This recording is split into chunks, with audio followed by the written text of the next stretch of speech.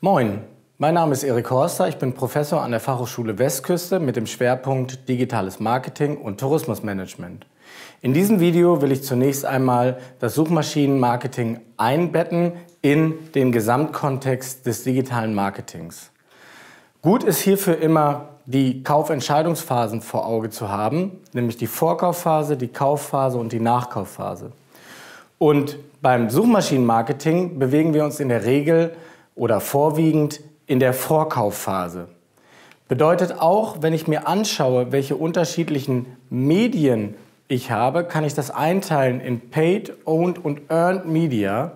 Und die Paid, also das bezahlte äh, Medienformat, das ist das, was wir beim Suchmaschinenmarketing mit AdWords machen. Also ich spreche hier insbesondere Fremde an, bei der Owned Media ähm, dann insbesondere diejenigen, die auf meiner Website sind oder schon waren. Und bei der Earned Media äh, sind wir insbesondere im Bereich Social Media Marketing.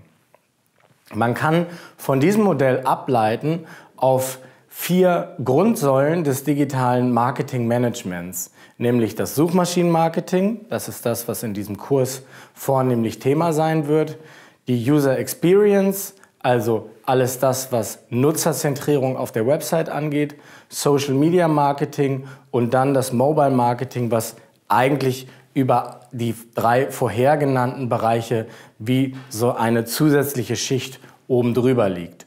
Und wie gesagt, wir bewegen uns in dem ersten Bereich, also in dem Suchmaschinenmarketing.